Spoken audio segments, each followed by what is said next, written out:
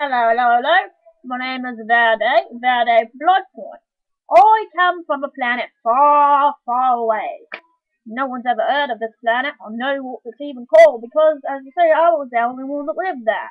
Don't even have a name, except for there were beasts such as big old bloody bears and floating around eyeballs. And, of course, I had to kill them.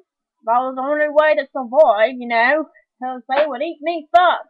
So, I had to rig some nifty little shoes here. Look at those. Those are dangerous things. Look, oh, still sharp. Ow.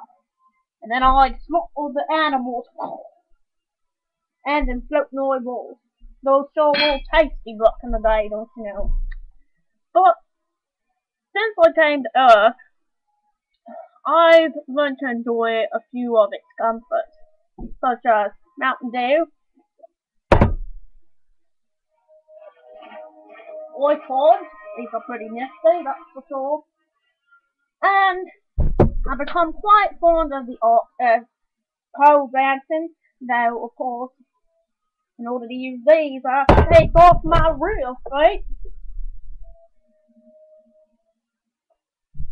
And that's quite nice, but you know, I tell you what, I'm the most dangerous pole dancer there.